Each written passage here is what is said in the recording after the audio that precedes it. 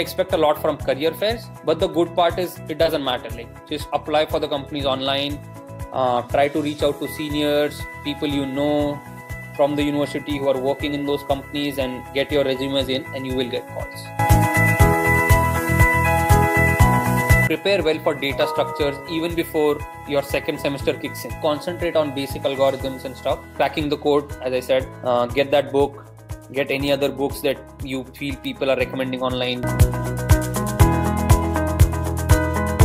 You usually apply in november or december because the internship starts in summer like you know internship would start in may. So for bigger names you apply usually in november november december.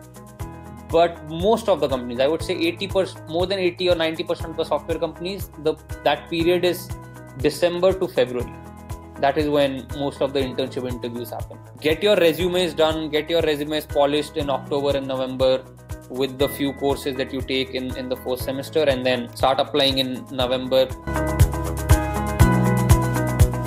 Most most of it is software engineering. Data scientist is pretty common these days.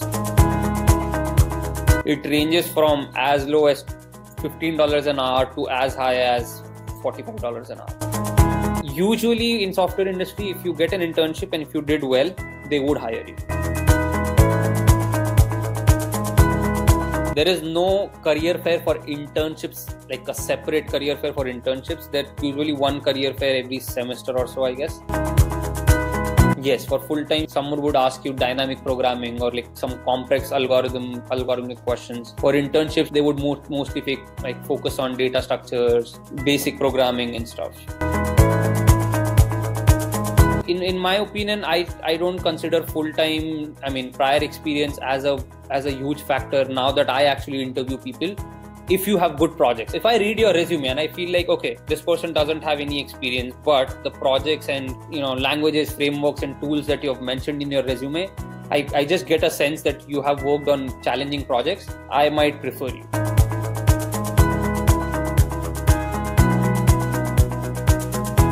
or forty odd people got got into Amazon, couple of them got into Microsoft, some of them got into there was this company called Epic Systems, some of them got Bloomberg, FactSet hired a few.